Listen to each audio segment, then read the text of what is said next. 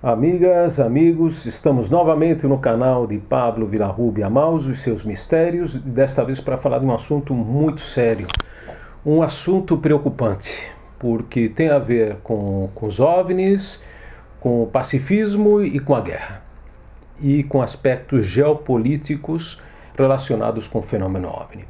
Estamos vivendo uma situação, um, momentos históricos muito graves, muito preocupantes então vamos falar um pouquinho sobre essa questão e comecemos pelo pacifismo, a origens do, do moderno pacifismo, aquele pacifismo atômico contra a energia nuclear ou pelo menos contra o uso é, militar da, da energia nuclear, que seriam, nesse caso, bombas atômicas né, e outros artefatos não, de, de destruição massiva. E vejam só que curioso, e talvez muitos não saibam, talvez vocês sim, porque vocês gostam do fenômeno OVNI e têm conhecimento, mas outras pessoas talvez não.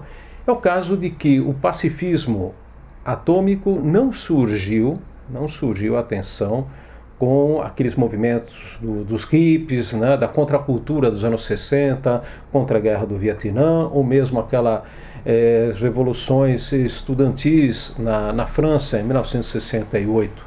Não, não foi aí nem sequer no primeira, na primeira declaração de aberta contra as armas nucleares, que foi a, o manifesto Russell-Einstein, eh, assinado em Londres em 1955. Foi muito antes. Foi, surgiu no Brasil.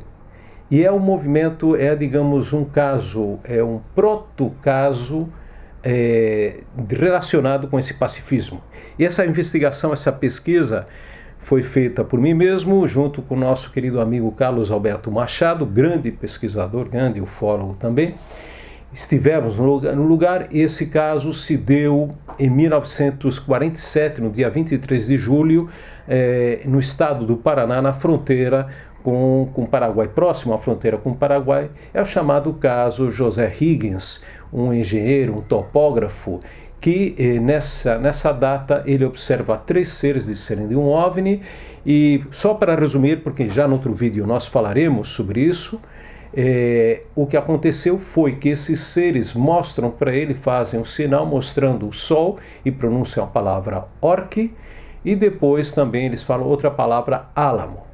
Então, a hora que ele estaria associado ao nosso, ao nosso astro-rei, enquanto que Álamo, aí eu fiz a reflexão, aliás, eu publiquei na revista Vigília, na revista virtual, na, no vigilia.com.br, que eu recomendo, e vocês verão aqui embaixo, vocês poderão ler, né? uma matéria em que falo que essa palavra ela inclui, digamos, um princípio, um embrião do que seria mais tarde, pouco tempo depois, a partir possivelmente de 52, um manifesto antiatômico, porque nos Álamos, nos Estados Unidos, foi onde se fabricou a primeira bomba atômica.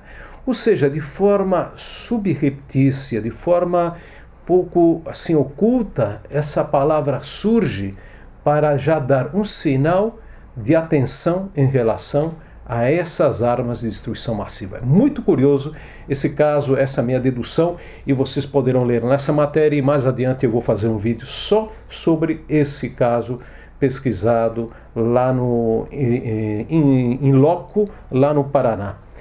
Então, o que acontece? O pacifismo cósmico, como disse, começou realmente de forma ativa em 1952 no dia, a partir do dia 20 de novembro de 52, quando o primeiro, um dos primeiros grandes contatados da história, o, o polonês, o norte-americano de origem polonês, George Adamski, ele no deserto, de, no, no deserto lá de Califórnia, no Desert Center, ele com, junto com outras pessoas eh, eh viram um OVNI, só que ele se aproximou e viu um ser loiro, vestido como um astronauta, e esse ser eh, lhe comentou, fez uma série de comentários dizendo que a humanidade estava em sério perigo pelo fato de que tenha de desenvolvido armas de destruição, eh, como as bombas atômicas, e, de certa maneira, isso estava provocando um desequilíbrio no sistema solar e no universo, e que eles estariam vigiantes dessa situação para evitar uma catástrofe maior. Aí começa uma série de, de, de questões relacionadas, ele começa a dar, o Jorge Adansky, uma série de palestras por, por, por todos os Estados Unidos, se torna muito famoso e ele acaba, acaba espalhando né, esse esse antibelicismo de uma forma extraordinária. Ele foi muito criticado, outros elogiaram. A história dele é fascinante e também merece a pena, vale a pena uma, uma reflexão e, uma, e um programa só sobre ele. Né? Então, o que eu quero, e eu gostaria também de dizer, contar outro caso tam, também surgiu no Brasil, aí já de forma claríssima, né, que é um manifesto também antiatômico, é um caso muito pouco conhecido que aconteceu na Bahia, é o caso do Hélio Aguiar, um desenhista profissional que trabalhava para o Banco Econômico de Salvador, lá na Bahia, e ele estava indo de noite na sua moto, beirando aquela a praia de Piatã, bela praia de Piatã, quando ele observa um OVNI, um disco voador, realmente com a forma clássica, a moto dele para, aí ele recebe, ele sente na cabeça que ele tem que escrever algo e ele desmaia. Quando ele acorda, ele encontra na mão dele, na mão esquerda, um papel meio amassado com a letra dele, que não lembrava que tinha escrito aquilo, ele dizia literalmente, ou seja, essa mensagem dizia literalmente isto que eu vou ler que cessem definitivamente experiências atômicas para fins bélicos. O equilíbrio do universo está ameaçado. Permaneceremos vigilantes, prontos a intervir. Essas são as palavras que escreveu de forma inconsciente o Hélio Aguiar, uma manifestação totalmente clara contra as armas nucleares.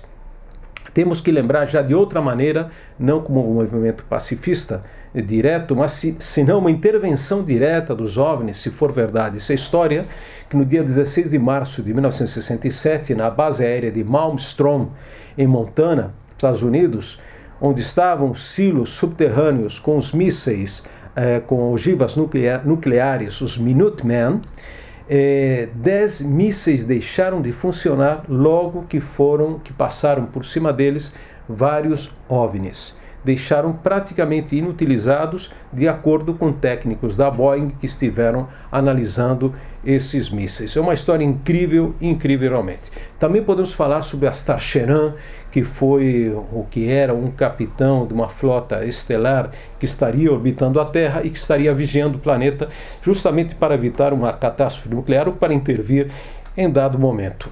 Essa história também é muito longa, também envolve questões religiosas, né? Alguns falam de religiosidade cósmica, em que os novos deuses seriam os extraterrestres.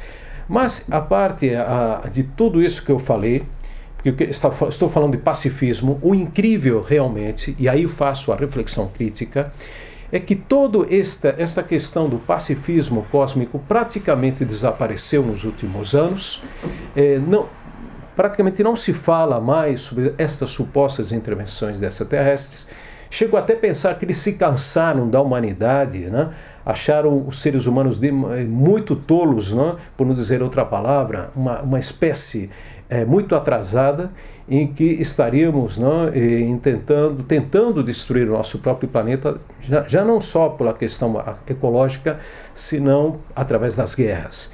E estamos vendo, vendo isso nesse momento em que ninguém se manifesta, ninguém, não há praticamente manifestações pacifistas em relação às guerras, não só da Ucrânia, que é a mais divulgada, porque estão, há várias guerras abertas no, no, no, planeta, como no Sudão, como no Iêmen, na Síria, há vários frentes de guerra. Né? Então o que acontece? Ninguém está prestando atenção para isso, acabou-se o pacifismo, salvo pequenas manifestações que têm acontecido contra a guerra da Ucrânia na, na França, na Alemanha, na Inglaterra, alguns poucos países, mas são muito esporádicos e, e diminutos esses movimentos. O que está acontecendo, na verdade? Vocês sabem que os meios de comunicação estão em mãos praticamente ocidentais de grupos anglo-saxões. Nós estamos falando dos Estados Unidos, grupos britânicos também, e eles têm eh, tanto a indústria de Hollywood, como as plataformas digitais, audiovisuais, que vocês bem conhecem, que todos nós assistimos, né? fora isso também os próprios celulares, né? os telefones, eles estão, e os videojogos também, os games, né, estão imbuídos de violência, de propaganda a favor da violência. Não há um só filme, praticamente, de Hollywood que não contenha uma arma, senão muitas armas. Né?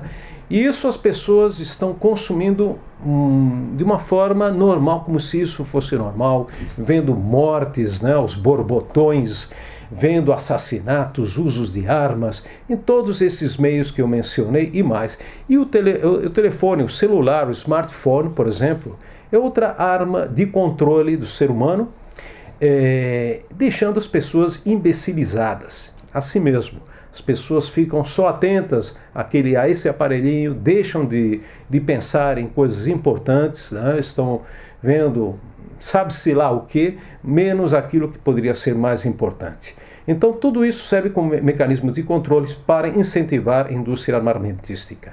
E aí voltamos ao assunto OVNI. O que eu quero dizer com isso?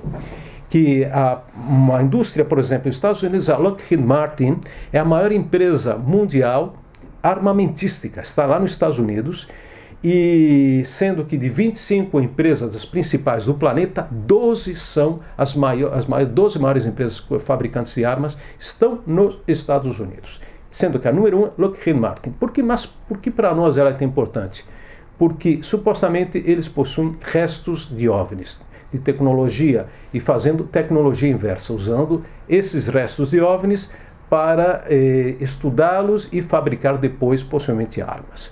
Aí, o, nos últimas semanas, e nós falamos aqui no canal, no meu canal, sobre isso, é, sobre um indivíduo, um ex-militar da inteligência dos Estados Unidos, chamado David Grush, que anunciou há pouco tempo que ele teria feito uma denúncia diante do Congresso dos Estados Unidos é, de que esse país e o Pentágono teriam restos de OVNIs e que estariam fazendo tecnologia inversa com esse material.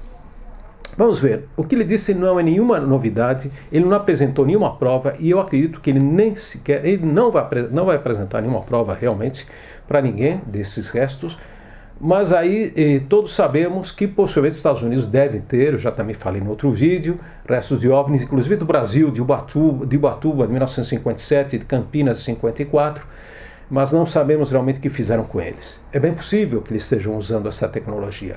Mas atenção, quem não.